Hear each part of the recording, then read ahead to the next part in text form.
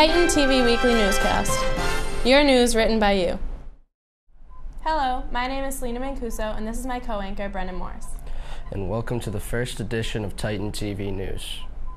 Pembroke Community Middle School this year has 16 sets of twins and a set of triplets.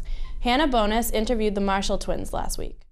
Did you get any media attention for being like having the record for the twins? Well, two a newspaper and a news channel came to the school, and that was about it. Like, yeah. Which news station, which newspaper? And I think it was News Center Five, and I think it was the Patriot Ledger. Did they come to the school and talk to you? Yeah, but we didn't get interviewed ourselves. But, But other twins twins did. did. Do you know what kind of questions they got asked? They like got asked like, did you like being a twin, or do you have to share a lot of stuff?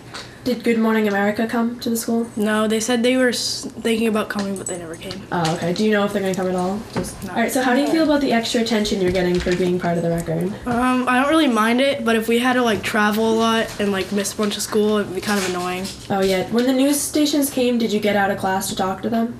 Uh, yeah, we got a lot. Of, we got out of like one Well, period. everyone's name being in the Guinness Book of World Records. We're not sure, but probably not. Yeah. Has like the attention worn down at all, or are you still getting just as much attention as when it started? No, we haven't got a lot of attention. Oh, did you realize that there were so many twins in your grade before the attention? I thought that I knew that we had a lot, but I didn't know that we had broken like tied the record. Yeah. How many different schools is the record tied with? I don't know. There's a couple, like maybe two or three. Yeah. PCMS is one set of twins away from breaking into the Guinness Book of World Records. The Blacklight Dance is now going to be held on March 15th at 7 p.m. after being rescheduled due to the storm. A question people are asking is Will attendance be affected by the date change? I'm not going to the blacklight dance because I'm a senior and I have better things to do than go to a dance with all freshmen. Um, no, I'm not going because last year was awful, and everyone says it's going to be awful. Nobody's going to go, and it's expensive. It's like ten bucks. I don't have that kind of money. I'm not a rich man. I'm not going to the blacklight dance because I have work. No, because of black light, and Isaiah is gonna be there. And if it's black light, then black man, black light. There is you can't see him. The black light will affect the nature. no one will see me, and I just go incognito. I'm not going to the blacklight dance because it's basically just a lot of teenagers rubbing against each other for no apparent reason, listening to very loud music which is damaging towards your ears. Uh, I'm not going because it wasn't fun last year. No, because my girlfriend won't let me. I am going to the Blacklight Dance because I'm trying to help out the junior and senior classes and they needed more chaperones.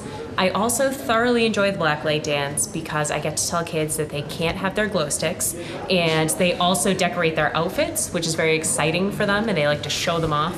And I think it'll be a good time. So we've got a great DJ. They'll uh, get all those tunes playing and it'll be wonderful. Juniors are hoping for a good turnout to raise money for their class. Pembroke High School's Thespian Society put a lot of preparation into their production of The Sound of Music to be performed in early February. Two shows were canceled due to Snowstorm Nemo. Senior Colleen Burns took the stage as a lead in The Sound of Music. Colleen Burns, and I'm a senior, and I played Liesl, who is the eldest daughter in The Sound of Music. I thought the show went fantastic. Um, unfortunately, we only got to do sh- two shows instead of three, but um, the cast became such a close family, and we got to know each other really well and worked really well together, and it made for a really great show. I was at my aunt's house and we were without power and we're all like huddled around the kitchen counter and all of a sudden I got a text from our director and she just said the shows are canceled and it was just instant tears. It was so upsetting. But um, then we found out that we got to do another show and that was really relieving and we were really excited about that. So we were lucky. Knowing that this was Layoff's musical made me give it my all. So it was really upsetting and sad, but I got a really great role that I wanted to be, and I was able to give my all to that role. And I feel like a lot of the seniors felt that way, and it was really fortunate that most of the seniors got the role they wanted and could work towards making it the best production that they could make it. After multiple reschedulings, the cast and crew put their final show on Wednesday, February 13th. Dangerous intersections all over Pembroke, but which one is the most dangerous? According to recent rankings, the intersection of Washington and Schoosett Street is the worst, responsible for 40 accidents between 2007 and 2010. Ken Moore, owner of Circle Furniture, which is at the intersection, blames the driveway to the new plaza. Town officials are working to improve the intersection by making it easier to enter and exit. Thanks, Brendan. Now for community notes. Senior Nicole Rice is the first student to represent PHS at the state Poetry Out Loud semifinals. She was one of the 71 people to advance out of the 20,000 students from Massachusetts who participated. Congratulations. Attention seniors, yearbook needs photos. Please give all photos to Miss Hickey ASAP. Congratulations to Brad Wong and wrestling coach Dave Vining for being Boston Globe's Division III Wrestler and Coach of the Year. Congrats also to Colin Claflin for finishing fourth at New England's. The Titans Booster Club is presenting A Taste of Pembroke Sunday, March 24th from 12 to 3 p.m. Tickets are $5 before the event and $10 at the door. And now, sports with Brendan. Now that the spring season is coming near, it's time to reflect on the success of our winter teams. The wrestling team did big things in the tournament.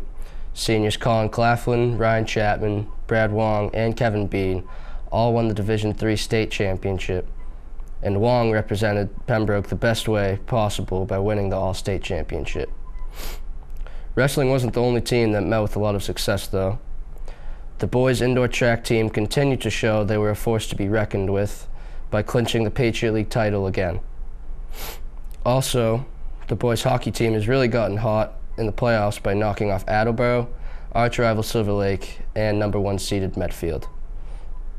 Back in January, the team was hovering around the 500 mark, and even making the playoffs wasn't a guarantee. How did they turn the season around? Here's locker talk with Selena and varsity hockey captain Josh Golden.